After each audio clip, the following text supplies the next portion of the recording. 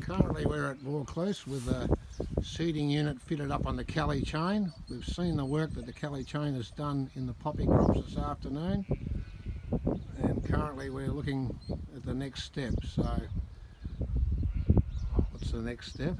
Okay, so next step for this machine is um, we'll be, uh, as soon as poppies are harvested and are nice and crisp, we'll go in and um, knock the stubble down uh, and also plant uh, either pasture or um, or tillage radish uh, so that we get a, a, a, summer fodder crop to finish lambs, um, also the background steers for the feedlot.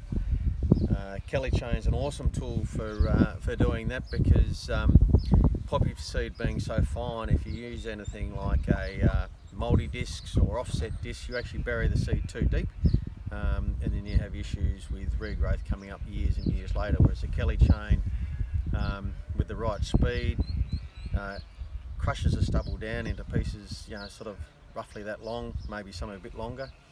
Smashes up the heads, but only puts the seed in nice and uh, nice and shallow, so that you get a good strike for weed control. You know, so that's very important from a disease management point of view.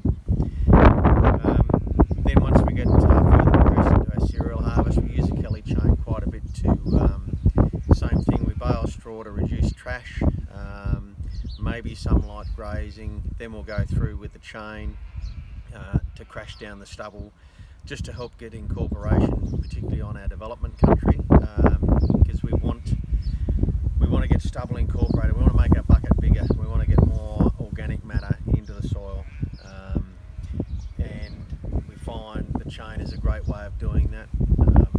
Helps us level out country as well, especially if we have a second pass. Ideal, uh, ideal way to sort of prepare ground uh, prior to grader boarding. Just takes that initial hump and hollow out. Um, and from our perspective uh, in this country, it's um, just such a versatile tool because it'll handle rock, um, handles pretty much most ground conditions, um, and is extremely so we're doing 10 hectares an hour.